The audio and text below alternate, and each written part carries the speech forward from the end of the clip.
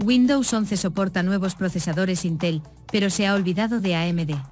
La lista de procesadores compatibles con Windows 11 hectáreas ha recibido una importante actualización, aunque esta se ha centrado únicamente en los procesadores Intel Core de decimocuarta generación, y ha omitido por completo los nuevos procesadores Ryzen Serie 8000 de AMD. Por suerte no tenéis nada de lo que preocuparos, porque estos últimos son totalmente compatibles con dicho sistema operativo aunque no aparezcan en la lista. Estos son los nuevos procesadores compatibles con Windows 11 que Microsoft ha añadido a la lista dentro de la familia Intel Core Raptor Lake Refresh.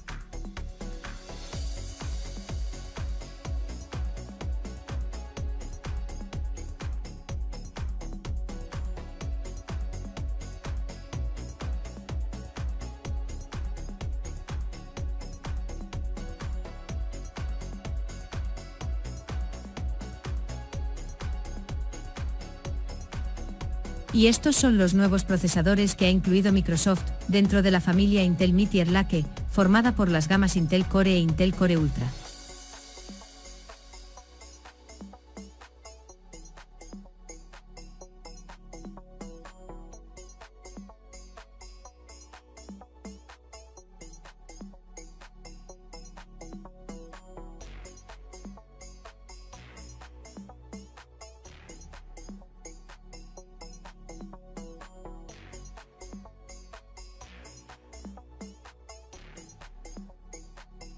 Tras esta última actualización el total de procesadores compatibles con Windows 11 asciende a 1207, de los cuales 903 son Intel y 304 son AMD.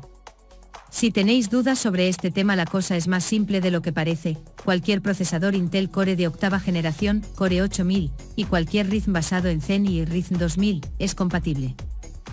Que un procesador no aparezca listado como compatible no significa que no sea posible forzar en él la instalación de Windows 11. Es posible hacerlo, aunque no resulta del todo recomendable porque podríamos acabar teniendo problemas a medio y largo plazo, o incluso acabar quedándonos sin soporte, que es precisamente lo que ha ocurrido con aquellos procesadores que no cuentan con las instrucciones SSE4A o superiores, que han acabado siendo bloqueados en la actualización 24H2. Imagen de portada generada por IA. Saludos.